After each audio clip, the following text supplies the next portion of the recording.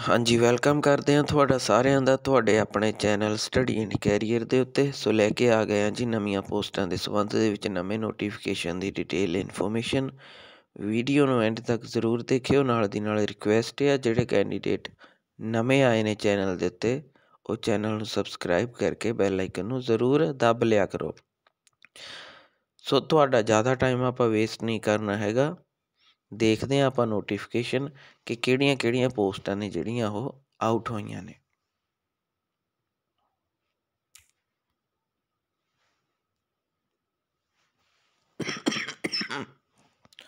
ਸੋ sorry ਹਾਂਜੀ one post ਹੈ ਜੀ senior resident on ad hoc basis are lying back vacancy ਇਹ vacancy ਹੈ sorry anaesthesia and intensive care at PGI satellite centre Sangrur ਦੇ ਲਈ ਤੇ ਇਹਦੇ ਲਈ ਵਾਕ ਇਨ ਇੰਟਰਵਿਊ ਰੱਖੀ ਗਈ ਆ interview along with their complete bio data attested copies of relevant certificate ਠੀਕ ਹੈ ਜੀ in the seminar room 5th floor Nehru hospital 31 1 2024 ਨੂੰ ਸਵੇਰੇ 11 ਵਜੇ ਇੰਟਰਵਿਊ ਰੱਖੀ ਗਈ ਹੈ ਇਸ ਪੋਸਟ ਦੇ ਲਈ ਦਾ candidate should not be more than 40 years 40 ਸਾਲ ਤੋਂ ਉਮਰ ਘੱਟ ਹੋਣੀ ਚਾਹੀਦੀ ਹੈ, ਠੀਕ ਹੈ ਜੀ।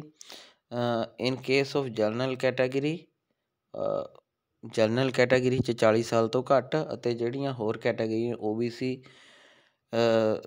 ਤੇ ਲਈ 43 ਸਾਲ ਅਤੇ SC ST ਲਈ 45 ਸਾਲ ਉਮਰ ਆ, ਜਿਹੜੀ ਉਹ ਰੱਖੀ ਗਈ ਆ, ਠੀਕ ਹੈ ਜੀ। ਤੇ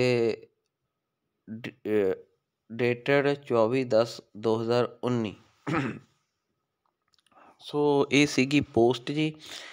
ਇਹ ਤੁਹਾਡੀ ਇੰਟਰਵਿਊ ਹੈ ਜਿਹੜੀ 31/1/2024 ਨੂੰ ਸਵੇਰੇ 11 ਵਜੇ ਰੱਖੀ ਗਈ ਆ ਨਹਿਰੂ ਹਸਪੀਟਲ ਚੰਡੀਗੜ੍ਹ ਵਿਖੇ। ਸੋ ਜਿਹੜੇ ਐਲੀਜੀਬਲ ਕੈਂਡੀਡੇਟ ਆ ਅਪਲਾਈ ਕਰ ਸਕਦੇ ਆ। ਉਮੀਦ ਕਰਦੇ ਆ ਅੱਜ ਦੀ ਇਨਫੋਰਮੇਸ਼ਨ ਵਧੀਆ ਲੱਗੀ ਹੋਊ। ਇਸੇ ਤਰ੍ਹਾਂ ਮੈਡੀਕਲ ਨਰਸਿੰਗ ਫੀਲਡ ਨਾਲ ਜੁੜੀ ਹਰ ਇੱਕ ਤਾਜ਼ਾ ਅਪਡੇਟ ਦੇ ਲਈ ਜੁੜੇ ਰਹੋ ਤੁਹਾਡੇ ਆਪਣੇ ਚੈਨਲ ਸਟੱਡੀ ਐਂਡ ਕੈਰੀਅਰ ਦੇ ਨਾਲ। ਸੋ ਮਿਲਦੇ ਹਾਂ ਜੀ ਨੈਕਸਟ ਵੀਡੀਓ ਦੇ ਵਿੱਚ ਕਿਸੇ ਹੋਰ ਇਨਫੋਰਮੇਸ਼ਨ ਦੇ ਨਾਲ। ਤਦ ਤੱਕ ਲਈ ਸਤਿ ਸ਼੍ਰੀ ਅਕਾਲ।